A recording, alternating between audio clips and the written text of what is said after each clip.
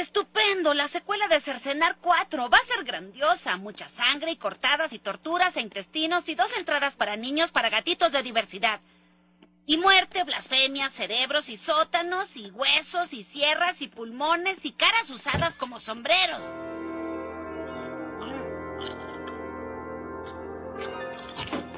Ahora, tal vez creas que Cercenar 5 es copia de Cercenar 4, pero de hecho se basa en la rica historia de las películas de torturas de Hong Kong. Uh-oh.